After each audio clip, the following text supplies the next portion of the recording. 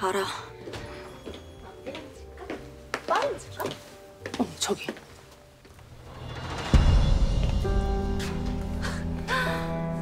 원수는 외나무 다리에서 만난다더니 반가워요. 저도 반가워요, 민주련 씨.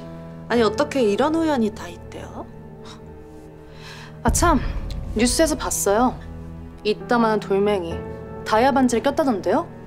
그것 좀 구경시켜줘요. 혹시 진짠지 아닌지 확인 좀 해보게. 왜요?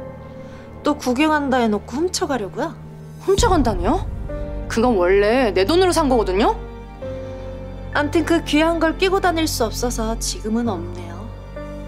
아, 그렇구나. 아쉽네요, 좀. 오빠, 오랜만이야? 어, 출세해서 그런지 얼굴이 더 훤하네. 근데 나 돈가스 언제 사줄 거야? 오빠가 돈 벌면 제일 먼저 내 돈가스 산처럼 쌓아두고 배 터지게 먹게 해준다 그랬잖아. 우리 보육원 있을 때. 아, 맞다. 잊어버렸겠구나. 오빤 기억상실증이니까. 선택적 기억상실증. 갑자기 보육원 얘기는 왜 꺼낸대요? 그 얘기를 꼭 여기서 하고 싶어요? 뭐 큰 자랑거리라고. 보육원에서 잘한 게 뭐가 어때서?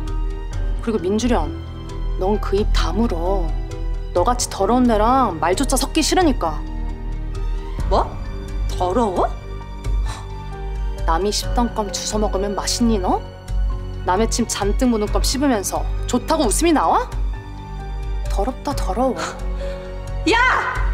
은별아. 그만해 은별아.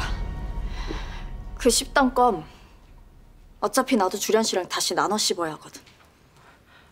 언니, 그게 무슨 말이야? 주련 씨는 알 거야. 그게 무슨 의미인지.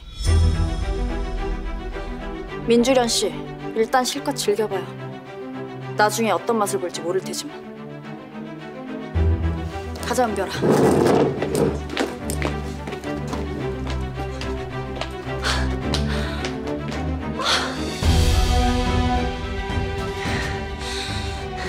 아, 놔!